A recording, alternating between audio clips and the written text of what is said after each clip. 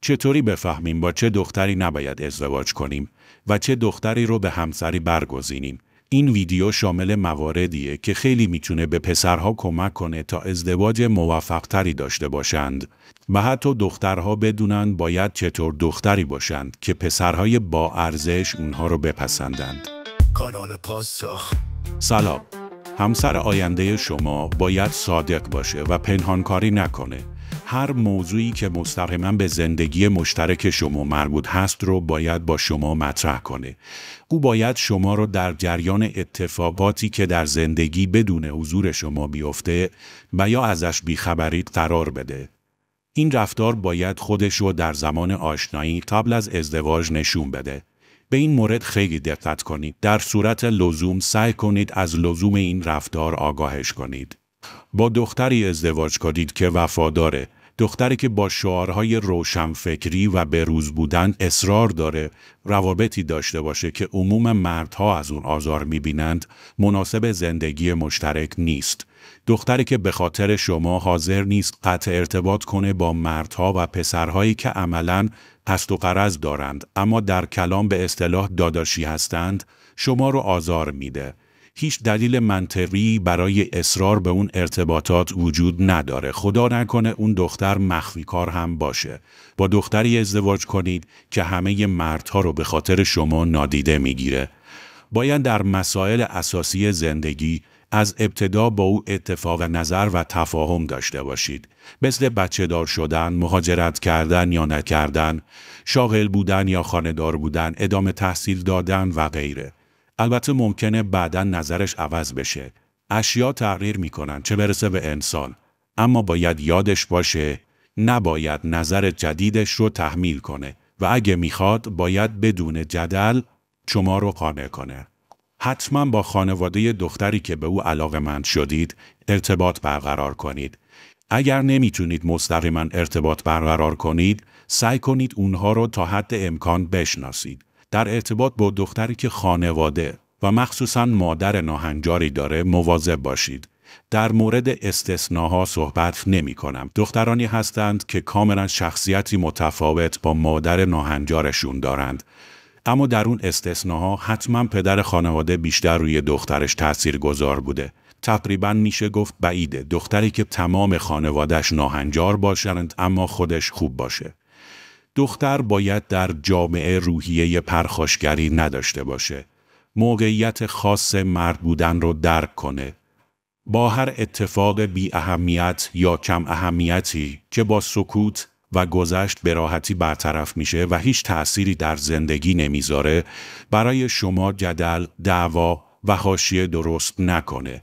این مورد خیلی به مورد قبلی و تربیت خانوادگی مرتبطه. با دختر مورد علاقتون توی جامعه برید و رفتار او رو بررسی کنید. دختر مد نظر شما باید به لحاظ فرهنگی و تا حد زیادی مالی با شما هم سطح باشه. مخصوصا به لحاظ فرهنگی.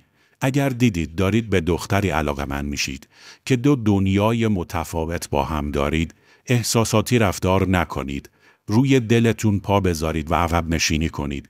مطمئن باشید در زندگی احساس رضایت نخواهید داشت. ازدواج با اون دختر قطعا پایان خوشی نداره. اصلا به این فکر نکنید که او رو تغییر بدید. شدنی نیست. اگه هنوز کانال من رو subscribe نکردید، از همین زیر کادر تصویر می‌تونید گزینه سابسکرایب رو بزنید تا در جریان بقیه ویدیوهای من قرار بگیرید. دختری که دارای سلامت روحی هست، اخلاق خوبی داره و به شما احترام می‌ذاره مراسب زندگیه. اصطلاحا همیشه برج زهرمار نیست، دختری که اهل قهر کردن نیست و دعواها رو ادامه نمیده. به شما بیحرمتی نمی‌کنه. به راحتی هر حرفی خطاب به شما از دهنش در نمیاد. روحیه زن سالاری نداره و نمی‌خواد شما و زندگی رو ریاست کنه. دختری که نادیده گرفتن مرد و بیحرمتی به مرد براش عادی نیست. حتما در چالش هایی که پیش میاد به رفتار شخص مورد نظرتون از این حیث دقت کنید. خیلی زیاد به رفتار مادرش با پدرش دقت کنید. این مورد عامل خیلی از دعواهاست که در صورت استمرار می‌تونه سالها بعد از ازدواج باعث بشه شما زندگی مشترکتون رو وقتی که پیرتر و سرخورده شدید با تلخی به اتمام برسونید. دختر مد نظر شما برای ازدواج باید به خانواده و نزدیکان شما احترام بذاره. اگه رابطتون با دختری جدی شد، سعی کنید او رو به نزدیکانتون نزدیکتر کنید. سعی کنید متوجه بشید او چقدر برای شما ارزش قائله که به خاطر شما به خانواده و عزیزانتون احترام بذاره. دختری که در مهمانی ها بیشتر به شما نزدیک میشه بهترین دختریه که می‌تونید پیدا کنید.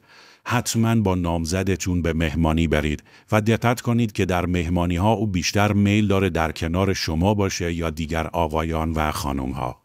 مورد بعدی فهمیدنش قبل از ازدواج خیلی آسون نیست. روی حرف و قول و قرار طرف نمیشه خیلی حساب کرد ولی در بعضی موارد دخترها خودشون به اصطلاح برای گربه رو دم هزیل کشتن میگن که من نوکر کلفت تو نیستم.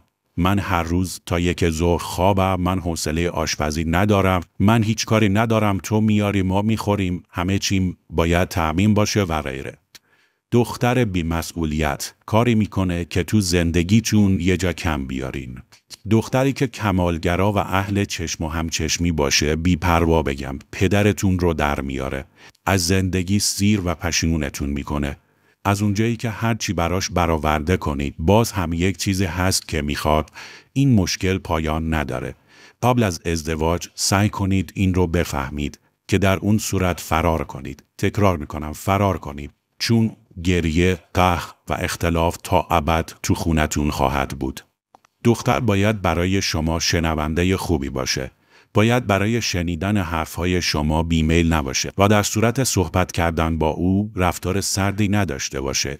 اگه یک دختر به لحاظ روحی حامی شما نباشه و عقب بکشه به شدت از او ناامید خواهید شد و رفتارتون باهاش تغییر می‌کنه. چون شما برای خوشبختی او تلاش می‌کنید اما او برای این تلاش شما ارزش قائل نیست. با دختری ازدواج کنید که دوستش دارید و حتما مطمئن بشید اون هم شما رو واقعا دوست داره.